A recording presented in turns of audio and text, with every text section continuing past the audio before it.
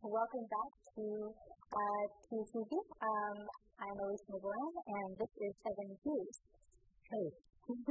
um, so, Evan, you are a comedian, correct? Yeah. Uh, cool. Um, how did you get in, get to be where you are? Okay. Uh, the way I got into comedy. What got you interested in comedy?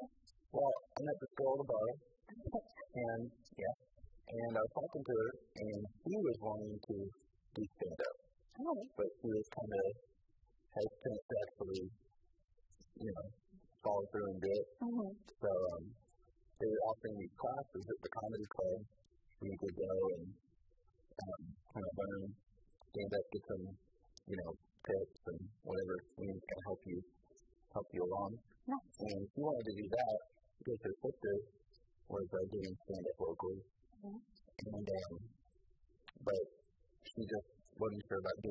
by and that kind of thing. So I was like, oh, maybe we can do it. So I ended up in this class, and um, I didn't really. Uh, I wasn't doing too well in it until kind of towards the tail end of it, where I, you know, just stopped caring, and that was when I got better. Okay. And um, after the first show, I didn't really want to do it again. It was just kind of like, I did it, you know, you kind of jumped out of the plane. I'm like, hey, I did it, you know. But her sister was booking a show at a bar, and then she asked me to go do her bar show. And I was like, oh man, you know, do another, do another one. Like, I escaped the first one already. But, uh, out of the way. yeah, I was like, all right. Uh, I agreed to it because it was like a month and a half away, and because it was her, and I was like, all right, I'll do one more.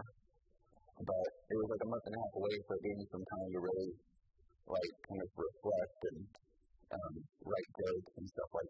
that. And that that went even better than the first one had gone, Mm-hmm. and some of the other locals that were already established around Tulsa were on that show, and just kind of the way the crowd um, took to me, kind of the response of the crowd, and the reaction of the local comics when I got off stage uh, was when that was when I realized I wanted to do it. Like this is what I want to do. Awesome. Awesome. Um, so, how do you go about doing comedy full time? Well, um, it's tough to do comedy full time in Tulsa. You know, there's not not a lot of money Mm-hmm. to be made in Tulsa. Tulsa is a, a really a wonderful place. It's a really great place to get good.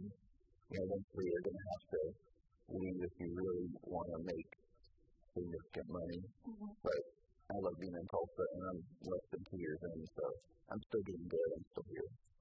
You said you uh, go outside um, to Fayetteville and uh, the surrounding um, uh, states as well. Yeah, Missouri, Arkansas, stuff that's within like a couple hours. I've done quite a few shows at Fayetteville, Joplin, Missouri. Um, yeah, just if it's not too crazy far, you know, pay I'll, I'll go do it. Awesome, awesome. Um, could you take me real quick through your process? Like, how do you prepare for a show? Um, well, I pretty much, um, I, I have, you know, quite a few jokes that I've, I've written. Um, you just kind of put together a set list similar to like what a band would have, like if the Rolling Stones were doing a show and they would have like, okay, we're to do, you know, Jumpin' Jack Flash and Brown Sugar, and that's kind of how mine works too.